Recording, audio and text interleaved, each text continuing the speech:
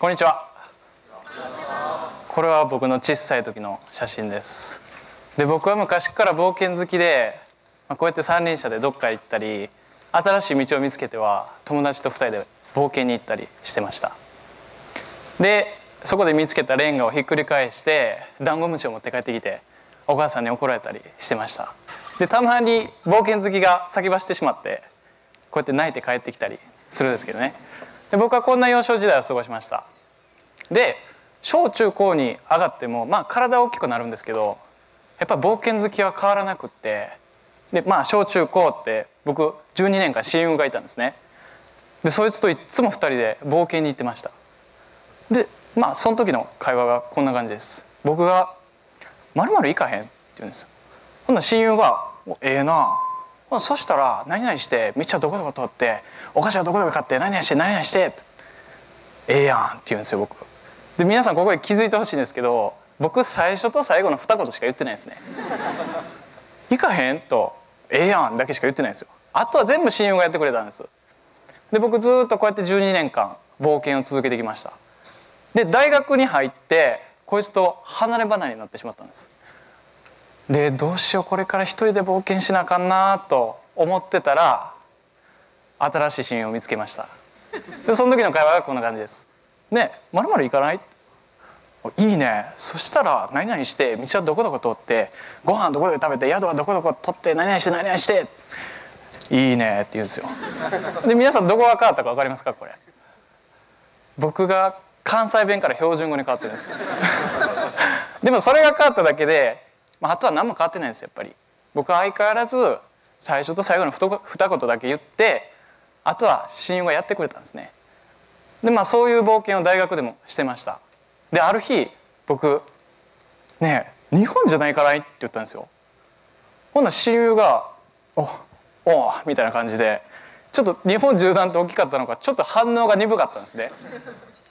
でもまあいつも僕は冒険の話出したらいけると思ってますからすっごいワクワクしてたんですよ。親友から返ってきた言葉が「そしたら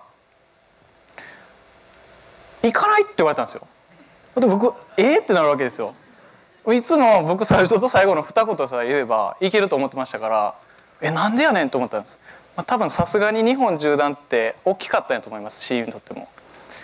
でも僕ワクワクしてますからすごい行きたかったんです。だからいつも2人で行ってた冒険1人で行かんとダメになったんですね。でその時に僕の前に日本縦断っていう大きな壁が現れたんです。でどうしようかなって思ってたらまあまず先輩に相談したんです。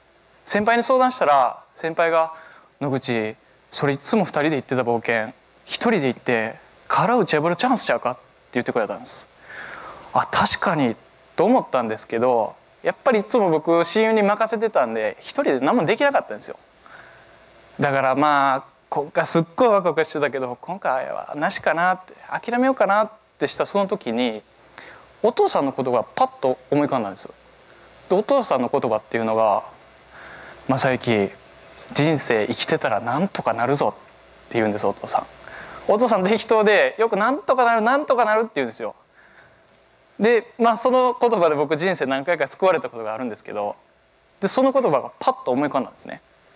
そしたら僕今回もなんとかなるんちゃうかなって思ったんですでもうなんとかなると思った僕はもうそこからもうよっしゃもうなんとかなるやろ行ったれと思って日本縦断出発したんです初めてのお使いになるの初めての一人旅行ったんですね僕。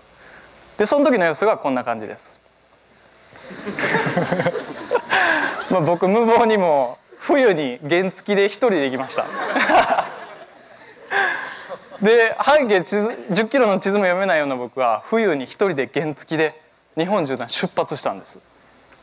でまあ1日目1日目まあもう半径10キロの地図も読めないような僕がまあ鹿屋市から300キロ離れた大分県別府市まで行けたんです、まあ、地図は読めなかったんですけどなんか人に聞いたりしてなんとか行けたんですね。でその時にまあ宿宿探そうと思ったらでも僕宿取れないってなって無謀にも公園にテントを張って寝たんです。でまあその時はもうビクビクしながら寝てたんですけどでもなんか1日目が終わって2日目の朝パッと起きた時にあれ？案外いけてるやんと思ったんです。僕なんとかなってるやんって思ったんですね。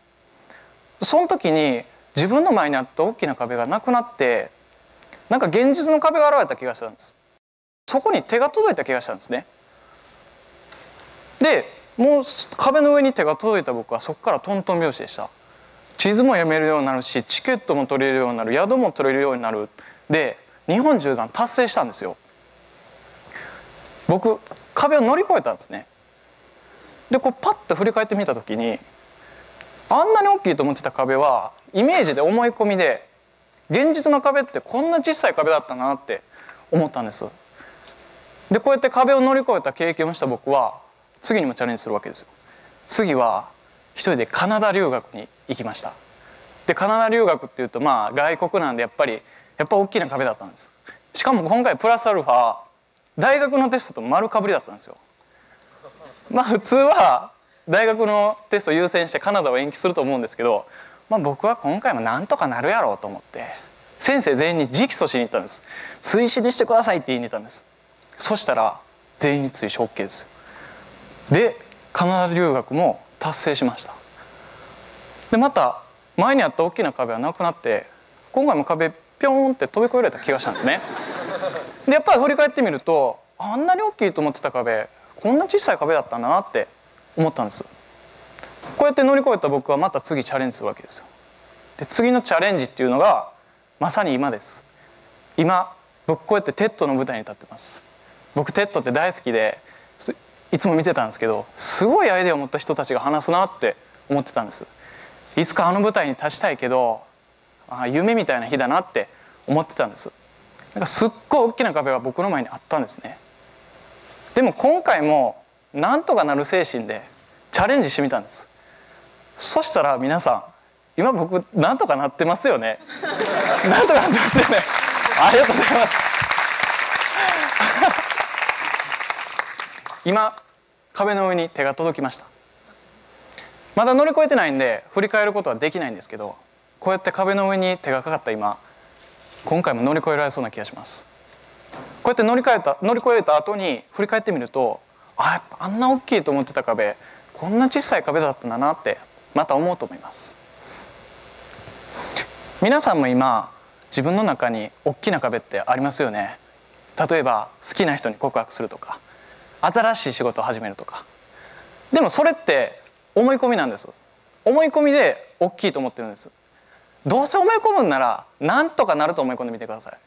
そしたら意外と一歩目がスッと出たりします。